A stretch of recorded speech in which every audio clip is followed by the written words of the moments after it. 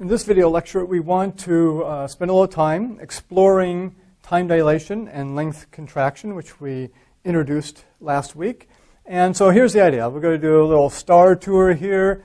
Uh, imagine a trip to a star five light years away. Okay, so if we could go there at the speed of light, it would take presumably five, it would take five light years, or five not five light years, five years to uh, to get there in a certain frame of reference, as we will we'll see here. So for our trip, we're going to assume that uh, our velocity, so here's Earth, here's a star, sort of compressed together there, but the idea is that's five light years away. Here's, um, maybe it's Bob's spaceship, and traveling at velocity v, and we're going to assume v is 0.943 times the speed of light. The reason we chose that, it gives us a gamma factor of 3, so a nice even gamma factor there, Lorentz factor. So here's what we want to do uh, is we want to analyze the situation first from the perspective of an Earth observer watching Bob, so maybe Alice is on Earth, uh, watching Bob travel to the star, and then analyze it from the rocket observer's perspective, frame of reference. That would be Bob in, in this case. So let's just think about this from somebody watching on Earth, uh, watches Bob go by at velocity v, presumably he's had a lot of time to to get up to speed here, so he's going nice constant velocity when he goes by. We also uh, set up here, so again, imagine for the Earth frame of reference, it's really the Earth star frame of reference because they are stationary with respect to each other. So once again, we have to imagine a lattice of clocks going all along in the Earth star direction here, and all those would be synchronized in the Earth frame. And so the idea here is that when, when Bob goes by Earth, we'll set up such that the Earth clock, the clock on Earth, is time t equals zero, and Bob's clock that's going along with him is also time t equals zero at that instant as he goes by. And all the Earth clocks are synchronized in the Earth star frame of reference, and, and Bob too has his imaginary lattice of clocks extending in both directions to infinity, and all those clocks are synchronized in his frame of reference, which of course in his frame of reference he's not moving, he's, he's stationary and it's really the Earth and star system that is moving. And we'll get to that in a minute. But let's look at uh, the Earth, Earth observer first and just measure, you know, how long does it take at 0.943 C, gamma factor 3, to get for Bob to get from the Earth to, to the star. So we have travel time here is simply going to be 5 light years, 5 Ly for, for light years, that's the distance from the Earth to the star, divided by the speed, which is 0.943 c, 0.943 times the speed of light. And as we talked about in a previous video clip here, uh, nice thing about using distances like light years or even light months, light seconds, although typically we use light years, especially for astronomical distances, is that the speed of light is simply one light year per year, almost by definition. The definition is that distance, the definition of a light year is the distance light covers, travels in one year, technically in a vacuum, um, which of course outer space isn't quite a perfect vacuum, but pretty close to it. And, and so we get um, one light year per year for C. So essentially we're just doing phi divided by 0.943 as long as we're using units of years. If we were using units of light months here, then the answer would be, you know, we'd have one light month per month for C, and the answer would be in months, and so on and so forth. So as long as we keep track, hey, we're using light years here, the answer of 5 divided by 0.943 is going to be the number of years, travel time, to get there. And if you do that, it comes out to be 5.30 years. Okay, and it's always good to check, does that make sense? Well, five light years, and it, it takes, uh, you're not going quite at the speed of light, just a little less than the speed of light. So you would assume it takes a little longer than five years to get there. And of course, that's the answer we get 5.3. So that, that checks out uh, in terms of how we, we think about that. Now, another thing we want to do here from the Earth observer's perspective, so that's the first thing. Second thing we want to do is, uh, as Bob goes by here, as our rocket ship goes by, takes a photo right at that instant on the Earth star lattice of, of clocks. Takes a photo both of the Earth clock there and Bob's clock. They both read t equals zero. And then when, when Bob the rocket gets to the star, 5.3 years later, uh, take another photo. And so in that photo, the star clock will read 5.3 years because this is from the Earth observer's perspective, and you know Bob's going along at 0.943 c, and uh, when he gets there, 5.3 years have elapsed on the Earth-star system of clocks, and uh, so the question then is. Um, really, what does that photo show? We know the photo shows 5.3 years for the star clock. What does it show on Bob's clock as far as the Earth observer is concerned here? Well, this is where we think, okay, um, Bob's clock is a moving clock with respect to the Earth star system.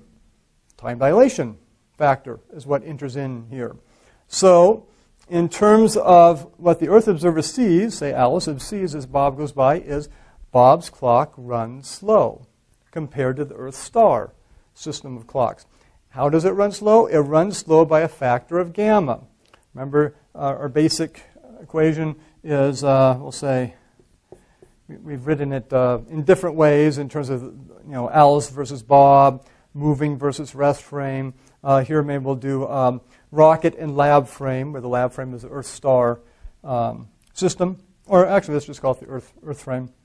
So uh, delta T for the rocket here is 1 over gamma. The elapsed time on the rocket is going to be 1 over gamma times the elapsed time in the Earth star frame. Okay?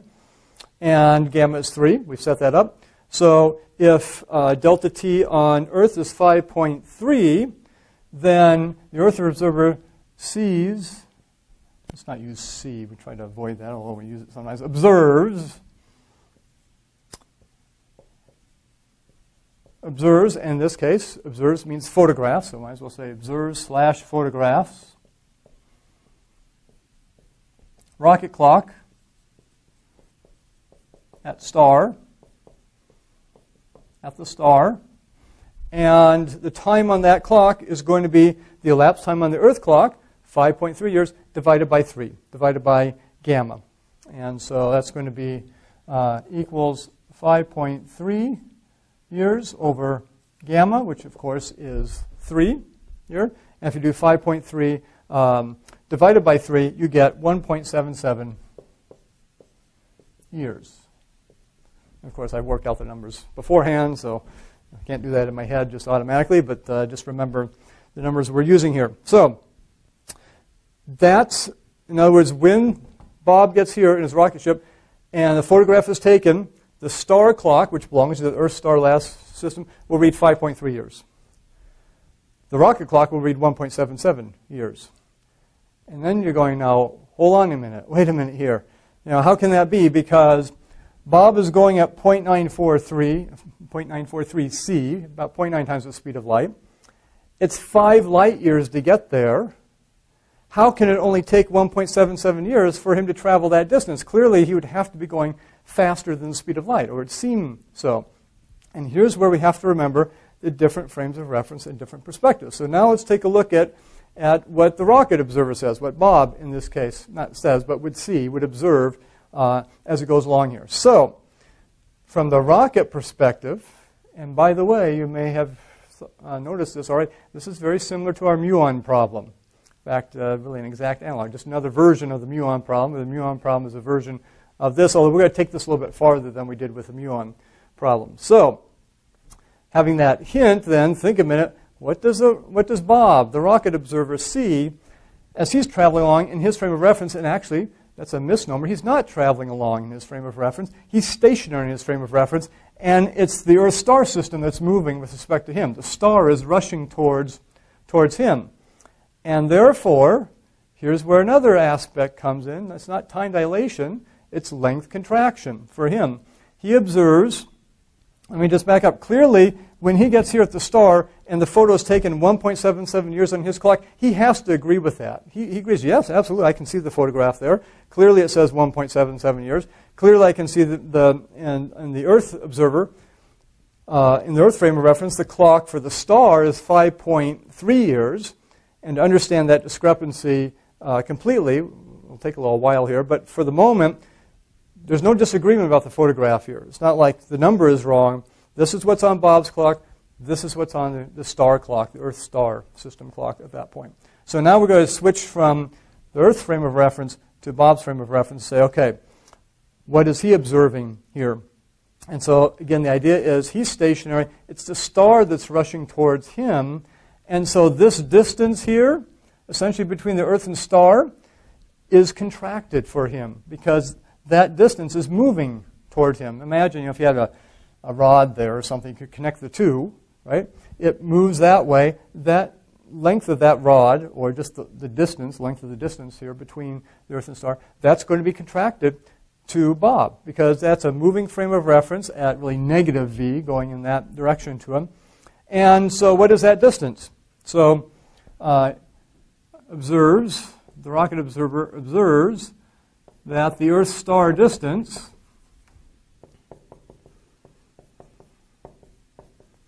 so our distance is contracted. It's less than it is in its in its uh, proper frame of reference, in its regular uh, frame of reference. In other words, the proper length is shorter when it's, when it's moving. And so the proper length here in the Earth star frame of reference between the Earth and star is not 5, 5.3, it's 5 light years. Where we put here? Up here. 5 light years. Okay? To Bob, however, the rocket observer, it's 5 light years divided by gamma.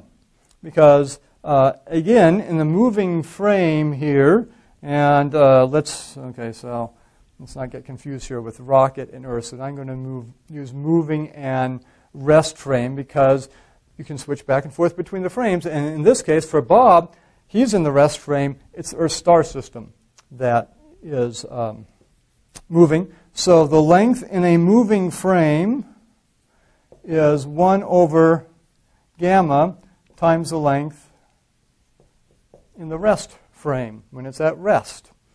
And so when it's at rest, it's 5 light years, but Bob sees it moving at a velocity v, 0.943c, and therefore, if he measures that distance, he's going to get 1 over gamma times 5, 5 light years. And gamma, we've chosen to be 3. And so he sees, so the, we'll call it d, the distance between the Earth and star, so we'll say DES, the distance between the Earth and star. It's not a very good D there. Sort of like a lopsided zero or something. There we go, a little better D. Distance between Earth and star, according to, this is in the rocket frame now, the distance the, between the Earth and star in the Earth star frame is just 5 light years. In the rocket frame, it is 5 light years divided by gamma, which is 3. And when you do 5 divided by 3, you get 1.67.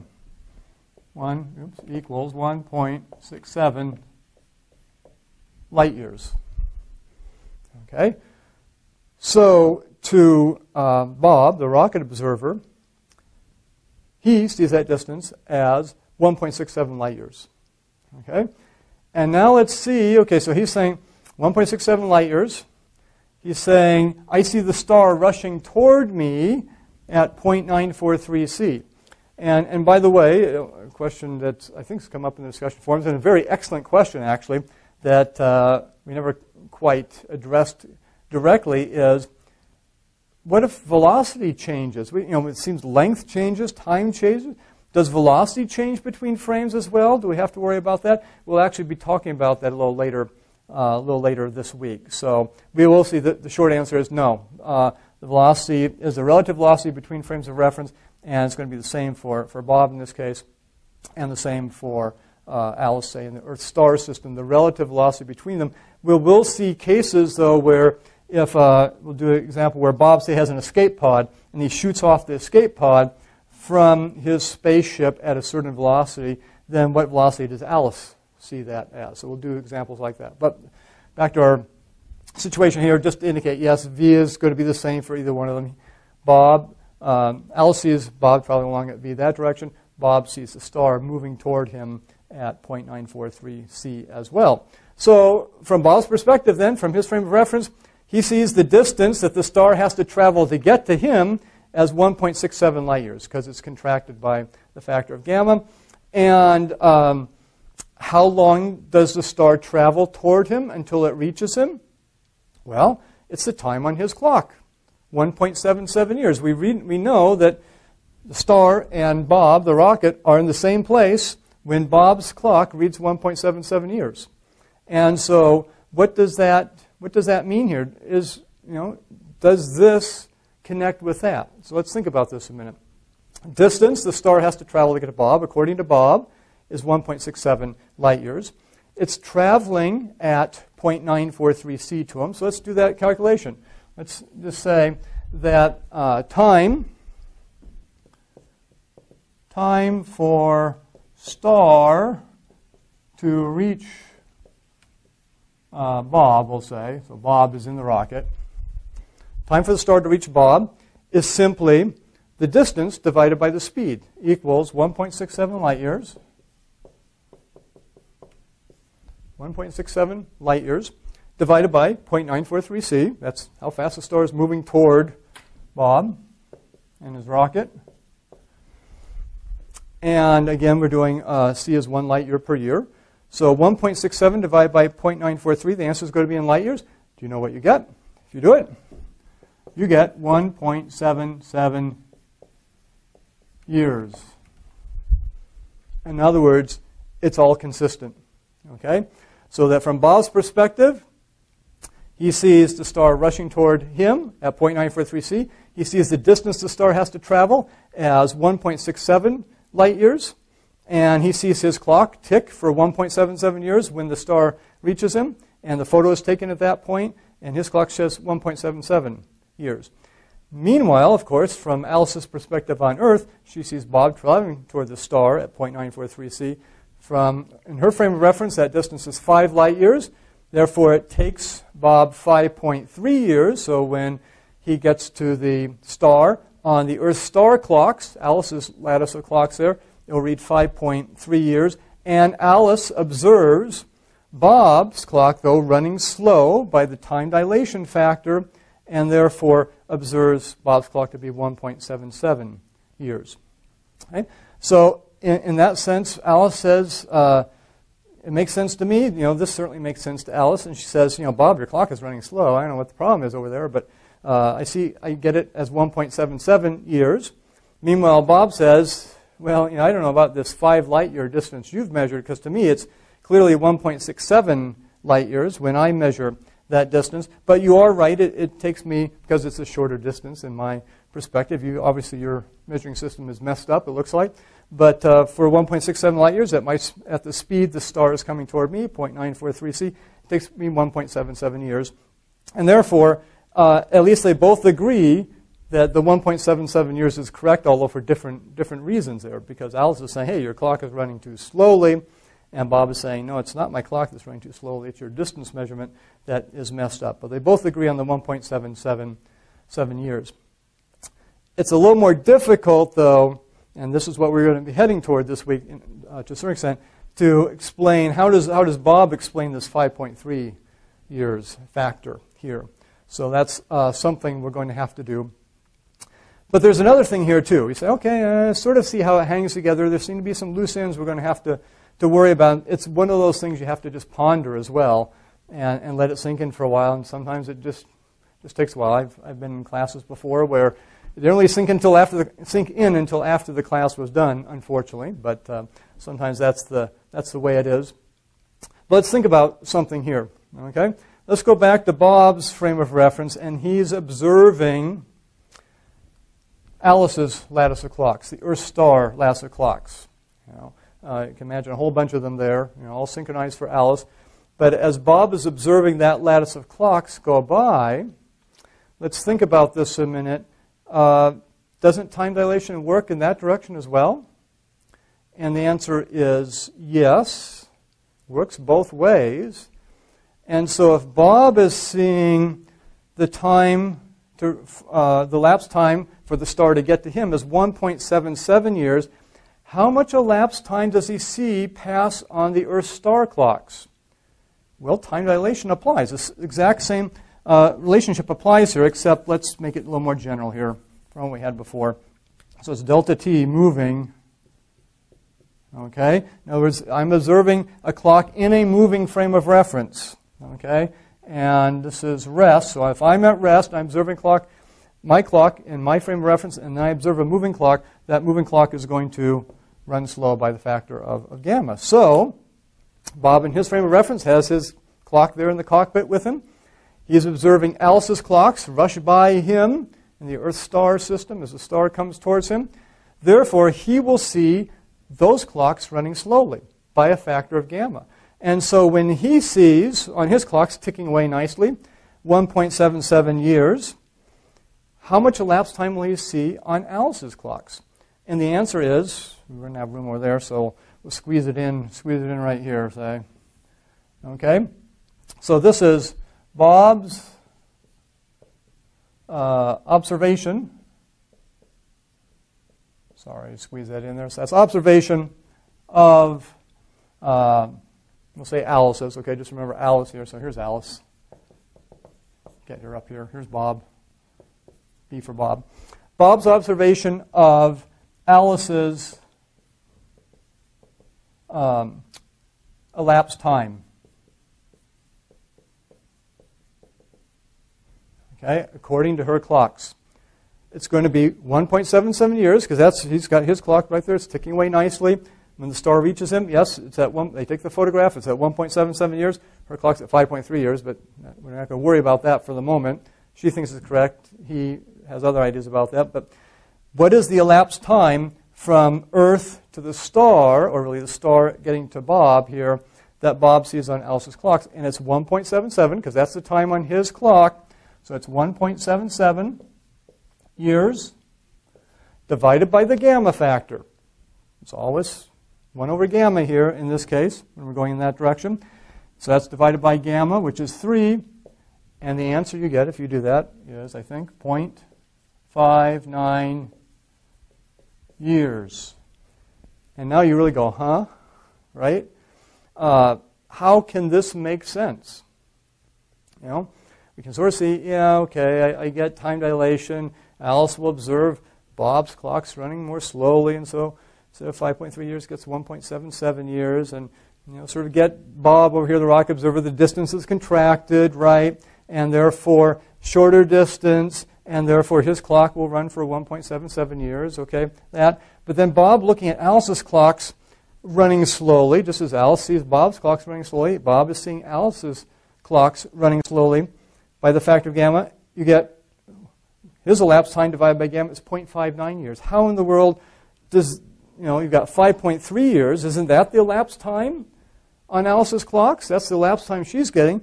How is Bob getting a, a value of 0.59 years for the elapsed time on Alice's clocks? And um, to understand this quantitatively, we're going to have to do some work this week. We're going to uh, develop something called the Lorentz transformation because that's going to help us understand this. Uh, among many other things, it's, it's, useful for much more than, than just that. Uh, so it's going to help us understand this.